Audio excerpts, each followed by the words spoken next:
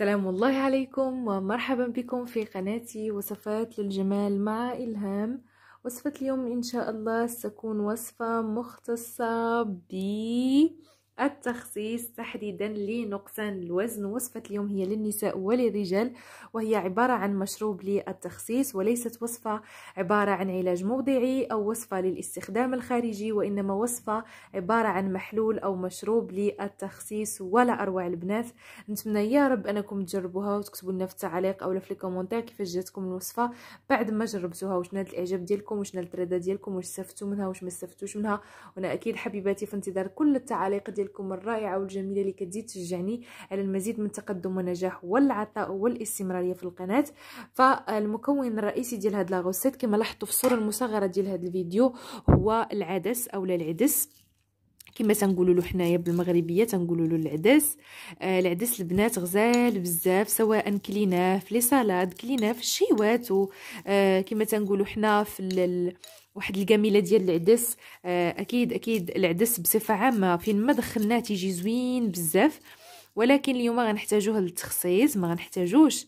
يعني في وجبات وإنما عبارة عن مشروب. نتمنى أنكم تبقاو تدخلوه تستخدموه في هذه الوصفة أكيد. ولكن تبقاو تدخلوه في بزاف ديال الأكلات. وعلى الأقل يكون حاضر مرة أو جوج المرات في الأسبوع. ضروري البنات. راه زوين بزاف. آه قبل ما نمشيو حبيباتي نتعرفوا على مكونات الوصفة ونتعرفوا على المكونات الثانوية لأنه العدس كما قلنا مكون رئيسي ولكن معنا مكونات إضافية أو ثانوية باش نزيدوا آه نعطيو الوصفة مصداقية ونجاح أكبر وفعالية أكثر. قبل حبيباتي ما نمشيو نتعرفوا على هذه الأشياء أريد أن أرحب بجميع المتتبعات وبجميع الناس وبجميع المتتبعين وصفة اليوم للرجال وللنساء وخصوصا للرجال. فأريد أن أرحب بجميع المتتبعين. ونقول لكم مرحبا وألف مرحبا. إلا كنتي أول مرة كتزوريني ما تنسايش تشتركي شنو كتسناي اشتركي في القناة وفعلي زر الجرس خلي لي تعليقاتك اقتراحاتك استفساراتك الأسئلة ديالك. كل ما كيتعلق بيك في ال comment اولا في ال commentaire ولا في التعليقات خليو لنا هادشي كامل. نبغي نرحب به على راس والعين وبسم الله على بركة الله. نمشيو باش نتعرفوا على مكونات الوصفة اللي هي سهلة مهلة رخيصة الحمد لله في المتناول ديال الجميع. طريقة تحضيرها استخدامها واستعمالها كذلك. فأول مكون كما قلنا في لا فيديو العدس. غتحتاجي معايا كمية ديال العدس الكمية اللي حبيتي وعلى حسب الرغبة ديالك. غتحتاجي معايا إن شاء الله الثاني مكون اللي هو الكمون البلدي الكمون البنات زوين بزاف. خدي سواء حبوب أو لا بودرة. بزاف النساء تيقولوا لي واش الكمون حبوب أو لا كمون بودرة. في هذه الوصفة اللي استخدمتيه راه مزيان. سواء بودرة أو لا الكمون حبوب مهم نوعية ممتازة. ماشي النوعيه يعني نوعية تكون رخيصة لا من الاحسن تاخدي نوعية مزيانة لأنه خصوصا في الوصفات ديال التخصيص يعني ضروري ما تستخدمي أشياء اللي هي مزيانة بزاف باش تكون الفعالية حاضرة وبقوة. لأنه حتى هاد التوابل فاش تتكو فاش تيكونوا شوية مثلا عندنا مدة طويلة في البيت راه ما تيبقاوش مركزين في ديك الفعالية ديالهم كتبدا تنقص تدريجيا. بالنسبة الثالث مكون غتحتاجي معايا القرفة اولا الدارسين. تكون حتى هي نوعية مزيانة. وهنا خديت البلدية خديت القرفة البلدية والكامون البلدي ماشي الرومي من الأحسن. غتحتاجي معايا إن شاء الله إلى واحد نص حامضة مقطعة هكذايا شرائح. ممكن انت تاخدي حامضة كاع إلا حبيتي لك حرية الإختيار. فأنك تختاري الكمية اللي غتناسبك. وغادي تحتاجي معايا إن شاء الله الخل ديال ديال التفاح. هنايا عندي هذا الخل هذا زوين البنات. تاخدي أي خل توفر عندك. المهم خل التفاح البنات بصفة عامة راه زوين. كما لاحظتوا هنايا مكتوب يخلط خل التفاح الأصيل أو أي خل عندك مع العسل. ويؤخذ منه جوج المعالق كبيرة أو كبار عند النوم أو ملعقة كبيرة مع قليل من الماء الدافئ. وممكن تاخديه بعد الوجبات ثلاثة يعني الرئيسية الفطور الغداء والعشاء. راه زوين البنات. إلا بقيتي كتستخدميه غير بوحديتو راه يعطيك نتائج. إلا جاكتك البنة ولا لوغو ديالو غير مستحب فممكن إضافة ملعقة من العسل كيف ما هو مكتوب. غتحتاجي معايا إن شاء الله إلى عشبة أخرى وهي آخر عشبة إن شاء الله في هذا الفيديو واللي هي إكليل الجبل. غادي نوريه لكم نوريكم الشكل ديال إكليل الجبل. إكليل الجبل معروف بالفوائد ديالو الرائعة وعشبة زوينة بزاف كتدخل في عدة وصفات فغتحتاجي معايا كمية ديال إكليل الجبل.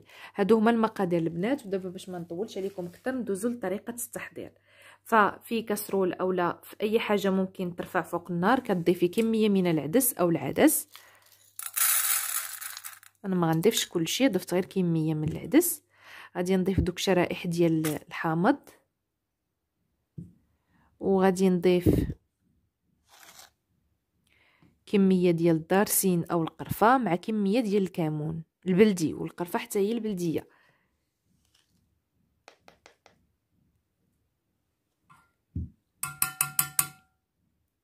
كتاخدي واحد الكوب يكون ديال الماء بارد وكتخلطي كلشي. حاولي تخلطي مزيان هذيك القرفة لأنه القرفة ما كتخلطش بسهولة. ضروري ما تخلطي عدة مرات كما كتلاحظوا في لا فيديو أمامكم الآن. وحتى الكمون حتى هو خصو يتخلط مزيان. كما قلنا القرفة سواء عواد والكمون سواء حبوب. ممكن استخدامهم حبوب ماشي مشكل.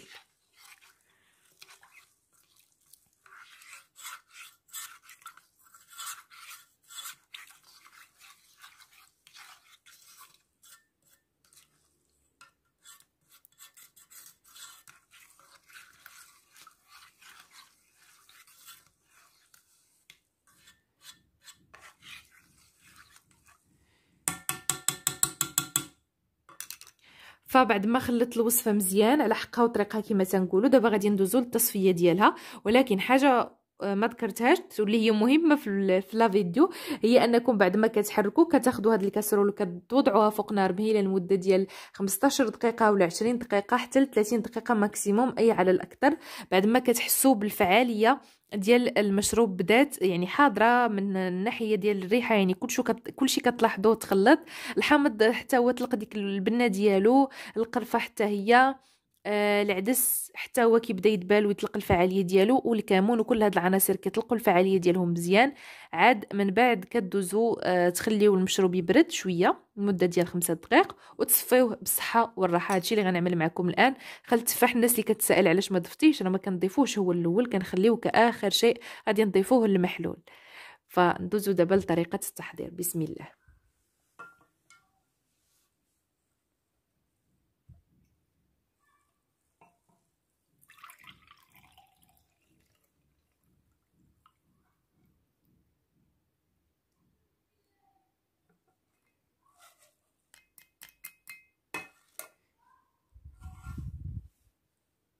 هانتوما هذا هو المشروب أو المحلول اللي غادي تحصل عليه أي سيدة واي رجل أيضا. فدابا آه بعد ما كتخليه يبرد كيصبح جاهز.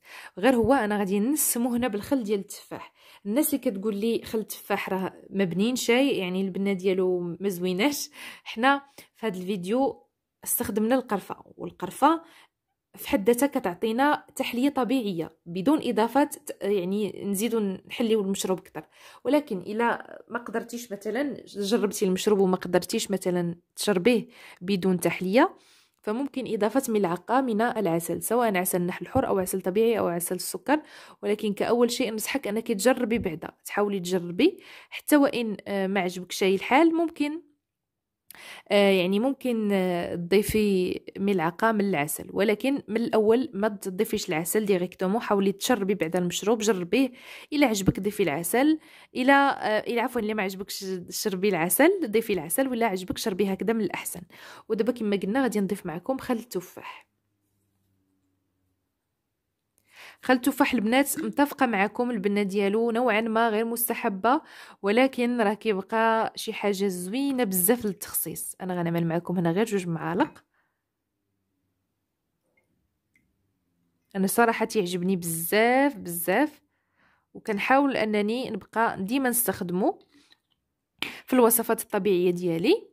كما قلت لك إلا بغيتي يعطيك نتيجة حاولي تاخديه بعد الوجبات الرئيسية الثلاثة اللي هما بعد الفطور وبعد الغداء وبعد العشاء غير معلقة. إلا جاتك غير البنة ديالو غير مستحبة ممكن التحليه بواحد كمية قليلة من العسل في كل ملعقة.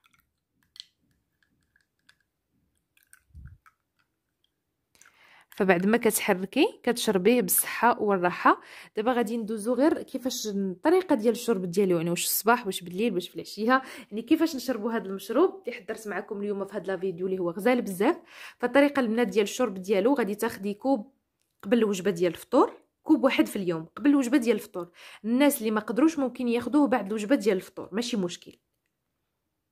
ولكن الناس اللي باغيين يركزوا على منطقة البطن خصوصا من الأحسن ياخذوه قبل الفطور. الناس اللي ما عندهمش البطن عندهم الدهون في الجسم ديالهم كاملة.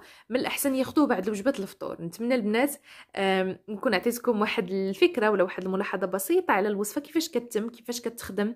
آه، لأنه كما قلت لكم الوصفات راه كنجربهم شخصيا كنحاول نعطيهم وقت واحد الأسبوع أو أسبوعين عاد كنجي نبارطاجيها معكم. ولكن في خلال هذاك الأسبوع راه كنجرب عدة وصفات ماشي غير وصفة واحدة. باش هكذا نجيكم يوميا بالجديد وبأي حاجة زوينة تفيدكم وتستافدوا منها سواء بالقليلة ولا بالكثير راه كنجي نبارطاجيها معكم. فحتى نتوما حبيباتي please دعموني باللايكات لهذا الفيديو. اشتركوا في القناة اشنو كتسناي؟ الناس اللي مازال ما مشتركينش شنو كتسناي؟ راه ديما تنجيب لك الجديد فاشتركي حبيبتي ودعميني بال like وخلي لي تعليقاتك تثبتوا وجودكم بتعليقاتكم. أي حاجة في التعليقات كنرحب بها خلي لي إيموجي خلي لي تعليق زوين خلي لي أي حاجة تبغيها كلمة في حقي أو كلمات في حقي فمرحبا بكم كاملين وكاملات حتى في الخاص كنرحب بالجميع. وشكرا لكم حبيباتي على دعمكم المتواصل. ونشوفكم في فيديو قادم إن شاء الله. وأي تساؤل أي استفسار بخصوص هذه الوصفة أو بخصوص أي موضوع آخر أو اقتراحات الفيديوهات الماجية فخليهم لنا في les commentaires وبسلام عليكم. نشوفكم في فيديو ماجي إن شاء الله.